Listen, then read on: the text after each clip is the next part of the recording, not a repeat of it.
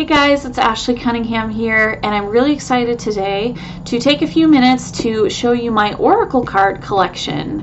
I um, have never done this before. I've never really talked about what Oracle card decks I've collected over the last about year and a half, and um, I'm just really excited to share this. I've had a few questions about Oracle cards, and um, mainly they focus on what's the best Oracle cards to use and which ones um, do Spirit actually want us to use? And the answer is there are a few that kind of stand out, but um, if you resonate with a specific deck, that's the perfect deck to use to connect to your team. So um, it just really comes down to personal preference. Um, I do want to mention I don't really I don't really resonate with tarot cards. I don't use tarot cards specifically, which have very specific um, cards um, within the deck. I prefer oracle cards because each deck is different, has different messages, and I may be um, asking more pointed questions or looking for more broader interpretations um, for questions. So I like to use oracle cards or some people call them angel cards. It really is the same thing. Um, but yeah, so let's get started. Um, right here, this is the last deck that I've actually, purchased, most recent deck that I've purchased. It's the Sacred Geometry Oracle deck by Francine Hart. And I love this deck so much. There are so many different cards in here that really stood out to me um, and it just resonates with me. Um, and I just love all of the artwork and the geometry. And I'm learning a lot about the different geometry, sacred geometry symbols. I haven't really studied sacred geometry very much. Um, so this is a great introduction for me to learn the different symbols and the meanings. But also um, there are some just really beautiful cards that it was kind of eerie how much they stood out to me. So um, I just love this deck, and this is the one I've been going to the most for my own personal um, uh, questions um, lately. Um, I've been switching them out, but there's that one. Um, oh, and before I get too far down the line, I do want to mention that in the description box below, I have in the entire list of all of my Oracle decks and the authors. Um, and I've purchased all of my decks primarily from Amazon. So I know you can find them on Amazon. There are a few decks that you can find directly from the publisher or um, on other sites, but I just always go to Amazon because I get free shipping. So it's just easier for me. Um, so the next deck is actually one of those decks that I didn't purchase from Amazon after just saying that. Um, I actually saw these in a casino, which was really interesting, and in their gift shop, and it just really stood out to me, and I had to have them the moment I saw them. This was actually the first deck I ever purchased, and um, it's the Medicine Cards um, deck. And let's see if I can get kind of better here. Um, it's by Jamie Sams and David Carson. And this deck is gorgeous. They also have about, I don't know, nine or ten cards that you can make your own designs on. So you can, if there's a card in here, an, an animal that isn't in here that you really um, resonate with, like I love sloths. So I added a sloth card in here because sloths to me represent some very specific characteristics and elements in my life. So I made my own sloth card and I love seeing my own personal cards that I created and using them in my spreads. Um, but I also wanted to highlight their book because this is a unique um, book. So here it is. It's a hardback book um, and it's really beautiful and the spreads are gorgeous. There's an image for each animal. The the number at the top represents the card um, and then it has a very detailed description about the medicine that that uh, animal can represent to you. And I love it so much. Um, it's a great deck and it's just really easy to connect with and use. And also, I've, I've recognized and noticed that um, people who may be a little more skittish or not as interested in oracle card decks or tarot cards really resonate with the animal cards because it's more about like spirit animals and um, it's definitely um, focused on Native American uh, medicine and um, folklore. So I really love, I love that deck. And the next deck that I want to show you guys is the Earth Warriors Oracle. And this kind of is similar to the Animal um, Spirit uh, Oracle cards that I just showed you in that it's all rooted in Native American medicine. And the artwork, which is done by Isabel Bryna, I'm sorry if I butchered your name, um, is gorgeous and it's amazing. And I love this deck so much. Um, I use this when I want to really connect with my ancestors, as well as when I want to connect with um, Mother Earth uh, more strongly, um, or um, with goddess energy. So I'll pull cards if I'm kind of feeling in that mood. Of course, I can connect with them directly through channeling, but I like to see the artwork. I like to see the messages that come through this way as well. So I do really love this. And I should put a link in the description box to this too. Um, Isabel Bryna, um, she has a beautiful Etsy shop where you can purchase original artwork done by her and a lot of her artwork um, from the Oracle card, uh, the this deck is actually on Etsy, so you can purchase prints, um, larger posters, and all that kind of stuff if this deck really resonates with you. It's super cool and um, I'm a big fan of um, a lot of really unique artists, so I love to support them when I can, and her deck is amazing. So um, definitely check that out if it resonates with you. The next deck that I want to show you guys is um, the Angel Therapy deck. This deck is actually recommended um, by the angels. So um, Angel Spirit has told me and uh, other mediums that this deck is really um, what they want people to use when they want to connect um, with the angels and also when they want to start to learn how to channel. So this is a really great deck. Um, it has some really great cards that are more solution oriented, so action step cards to get you through a situation or tell it tells you also how to connect or who to connect to for specific things. So connect to Archangel Michael or Raphael or Gabriel or um, Jophiel or any other of the archangels, um, as well as your own spirit team, your own angel team. So I love this deck so much. I use this quite a bit um, when I just need to get a quick um, understanding of maybe what someone needs for a reading, um, looking at okay where it is what is what is it that they um, may want? And of course that comes out through their questions but this just kind of solidifies that and reinforces the information that's coming through in a channeled way. So i really like using these. Um, they're fun and um, they're just beautiful as well um, this deck here, and I'm not going to lie, it's interesting, but I don't connect with it as much as I do most of my other decks. Um, this is the Lunar Nomad Oracle, and I really like this deck because it's designed to really unlock your creativity and awaken your intuition. And I like this deck because it's very, um, has just so many beautiful layers and colors and uh, images within images within this uh, each card. Um, but um, and I have used this to kind of give me some artistic ideas for maybe an art journal page um, and different things like that. But um, I don't connect with this one as much as I do with the others. But if this is something that's interesting to you, definitely check it out. I bought this one at Barnes and Noble um, but I'm pretty sure you can find this on Amazon as well. Um, but yeah, so that's that's this one. Um, the next deck is the Keepers of the Light Oracle card deck, and this is by Kyle Gray. And I love this deck because each card is an Ascended Master, and um, I really like using this deck to practice with um, channeling students, um, to kind of help, okay, pick a, an ascended master that's stepping forward to work with each um, student, and um, we practice sensing that energy and connecting with them and seeing if they have any specific messages for that student. So I love using this to practice sensing energy with. So I highly recommend it if that's something you're interested in. It's also just beautiful artwork and it has a lot of information about that Ascended Master.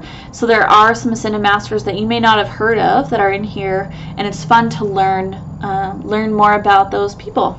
So I really like that. Um, the next deck is also kind of a larger box set deck, and this is the Druid Plant Oracle, and this is by uh, Philip and Stephanie Carr-Gomm. uh, with illustrations done by Will Worthington. And I bought this off of Amazon. No, I bought this from Barnes and Noble, but I've seen it on Amazon, so I know it's there. Um, but it's gorgeous. I resonate with um, the Druid um, people and just the Celtic culture and also I'm interested in herbalism, so um, I really liked learning more about the plants. They teach you about the plants in here, but they also tell you kind of what those plants represent, um, and then you get the messages through that. So I love this so much. It's very cool, and it comes in a nice sturdy box. It's all nice and you know it stays packaged really well, and uh, it's just really gorgeous. So I highly recommend that one. The next deck that I really love, and I recently bought this one as well, is the Wild Offering Oracle. And this one is done by Tosha Silver, and art is was done by Katie Daisy, and it's just beautiful floral cards. Um, the back is actually Ganesh, which is gorgeous, and um, I like this card deck because each card has the message on the card itself. You don't have a book that you have to go through and reference to see what the card means. And I really like that. And they're positive, um, affirming statements. Um, or uh, longer statements that um, positively could impact you. So I really love this one a lot, and it's just super gorgeous. Um, Mary, Queen of Angels. I love this deck by Doreen Virtue as well. So I have several Doreen Virtue decks. Um, this one is great because um, I love Mother Mary. I really connect with her. And just this deck has such a motherly, loving feel, energy to it. Um, so I love this deck. And it has beautiful gold. Um, I don't know if it's called embossing, but it's like gold um, uh, edges so it's just really gorgeous. And um, the feel of them are really great. And the um, artwork is beautiful because it's all really famous Renaissance art paintings, art paintings, paintings um, done, um, of course, focused on um, Jesus, Mother Mary, um, angels, and all that kind of stuff. So that one's a really fun one. Um, the next one that I love, um, and I don't use this one as often, but I do love it. It's the Moonology Oracle card deck by um, Yasmin Boland, and I purchased this one at Barnes & Noble as well. Um, but I love it because it teaches you about all the moon phases and kind of what they represent. Um, it also has zodiacs in here, so that's kind of cool.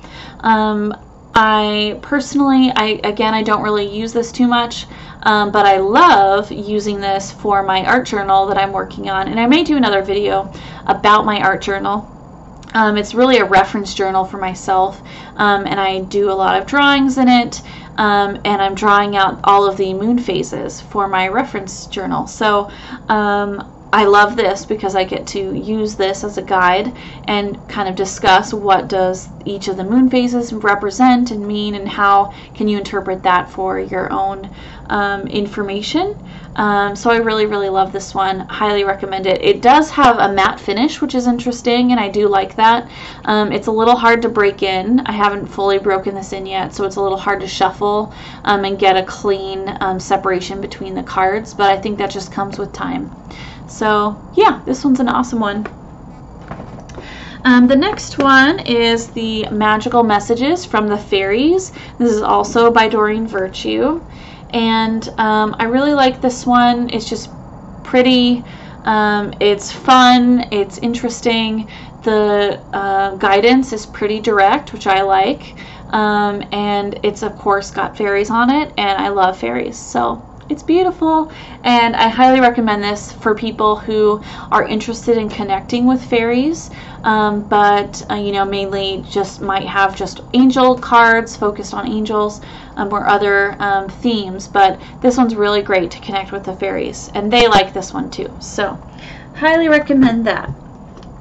The next deck, also by Doreen Virtue, is the Angel Answers Oracle cards um, deck, which I love because this has literal yes, no question um, answers in here. Sorry. So literal yes no cards. Um, so you can ask a question and you might get a yes or a no. Um, there, I think there's um, two yes cards where one says yes with just a yes, and then the other one says yes with an exclamation point. Um, and there are some cards around timelines, so I like that. So you can ask more timeline directed questions. Um, and this artwork done by uh, Radleigh Valentine is gorgeous. There's so many details to this. Every time I use this deck, I'm seeing new things that really influence the energy and the feel of this deck. Um, and it's just really beautiful. So I highly recommend this one. Um, okay, I have three more. I promise um, I'm almost done. this one is the Past Life Oracle deck by Doreen Virtue and Brian Weiss. Um, I like this deck because I'm really interested in past life stuff. Um, this to me represents more of a starting point to ask questions, and then you can go forward and do more research um, or go and receive a more in depth reading around past life information. Um, this one, yeah, just seems to me kind of an introduction. Um, others may disagree, um, but I haven't used this one too much. So um, if you have and you think it's more in depth, just put a comment down below. Um, but I do really like the artwork in this one, and it's just kind of fun to use to ask those questions to start thinking about what happened in a past life or what can you let go in this life that may have come from a different past life. Uh, the next one, also by Doreen Virtue, is Life Purpose Oracle Cards. And I like this one a lot. Um, I haven't used this one too much recently, um, but I like it because it's pretty on point. I pulled a lot of, I did a lot of spreads for my family members with using this life purpose deck, and it was kind of amazing how much the information resonated with my family who were not i mean they're not against connecting or um, you know channeling or anything but they're not like super comfortable or interested in hearing the information. So it was a practice for me and i'm very grateful that they let me practice. And um, i gave them the information on with this deck and they were just kind of blown away and they really enjoyed the experience. So I highly recommend this one. The artwork is beautiful and it's just got, if you can see maybe in the back here, some, uh, you know, cards and then it has a little, well, the green spots here and has explanations as to what each of those mean and kind of a little saying with it, which I like. My final deck is the Fairy Oracle deck by Arthur Rackham and Jaymi Elford. Um, I love this deck just for the art alone. It's gorgeous. Um, I like the fact that the um, messages are pretty straight to the point. They're pretty direct. They're little short sentences. But I also really appreciate that this deck comes in all these different languages which I like. I just like the fact that, you know, we could all be using the same version across the world, across the globe, um, and getting the same information. Not that it's different for any other decks that are printed in different languages. But I just thought that was really um, mindful and uh, really cool that they printed it this way. And the artwork is gorgeous, like I said. Um, it's a little, um, it's not necessarily intuitive to me what each of the art pieces represent for the message. Um, once you read the message, you kind of get the picture. But if you just looked at the picture, I don't think you would get the same message that the book gives. Um, but that's just me and my own personal experiences with this book. I or the deck in the book. I really really like this. Um, I think it's really fun, and the artwork is just again really exquisite. And I think the messages are great. Um, so I highly recommend this one. And I did purchase this one off of Amazon.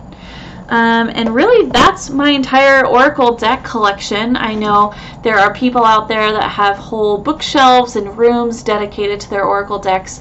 Um, I like to make sure I keep mine, and I don't think I showed you this yet, um, keep mine stored in this basket. So it's very limited. Um, and that's just really to make sure I don't overspend because it's so easy to just really want to go hog wild and buy all of these decks because they're so cool um, and they're so fun to use. Um, I definitely, I'm sure I'm going to be buying more decks. Oh, oh my gosh, I have one deck that I want to show you guys. I'm sorry, I totally forgot about this one. This one I think is my most important deck to me, and that's because I made my own Oracle deck. And um, this is the front cover. This is some artwork that I did myself. So this is all my art piece, uh, my artwork. And I made them the size of poker cards, poker cards, excuse me, because I wanted um, them to be really easy to shuffle. And they're slicky, so they're really easy to shuffle um, and handle. Um, and I used a bunch of just free images off of the web um, to use and layer on um, messages. Like here's the first card I pulled. It's called, oh, let's see if you guys can see it. This one's uh, Blessings. Sorry, oh, there we go. So Blessings, this image was just free online and um, I made about 64 cards here um, and I might do a video just kind of putting together how I made all of this happen. Um, it was actually a really interesting process and it cost me about $25 to um, make the this deck and print it and have it and it was just definitely worth it because each card holds a specific energy that I put into it in the creation of it and the intention that I set with this deck. This deck personally is about self care, self love, and focus, and um, I love it so much because these are all the things that um, are really special to me in my self care practice. And so I really, really enjoy it. And I highly recommend if any of you are interested in making your own Oracle deck, do it because it's an amazing experience. And if you're not, that's okay. We have all of these amazing decks available online or at Barnes and you know any sort sort of store, Barnes and Noble bookstores typically have them. Um, and yeah, and oh, I do want to point out, I'm not affiliated with any of these authors or Amazon or Barnes and Noble any of these companies. This is just me sharing um, the Oracle decks that I love and um, just sharing that information really quickly with you. Um, if you have any questions, feel free to post below your questions under this video. And um, I will also, again, be including a list of the entire Oracle card collection that I have and their authors. Um, again, most of these, if not all of them, can be purchased on Amazon.